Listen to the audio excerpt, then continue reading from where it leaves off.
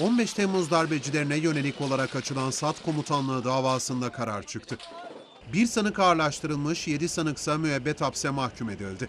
34 şüpheli ise 12 yıla kadar hapis cezası aldı.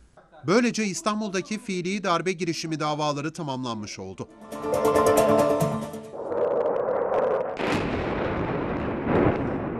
Genelkurmay çatı davası 20 Haziran'da sonuçlandı. 128 sanık ağırlaştırılmış müebbet hapis cezası aldı.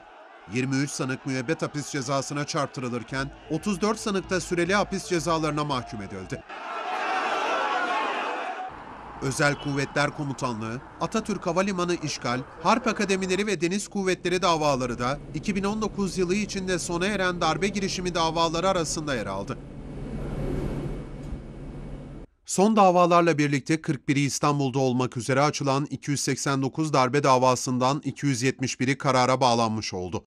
Devam eden 18 dava kaldı.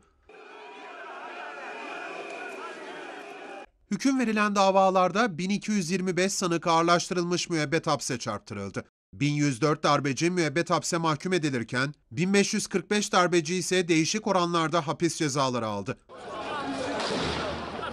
Ağırlaştırılmış müebbet hapis cezası alanlar arasında rütbesi sökülen darbeci generaller de yer aldı.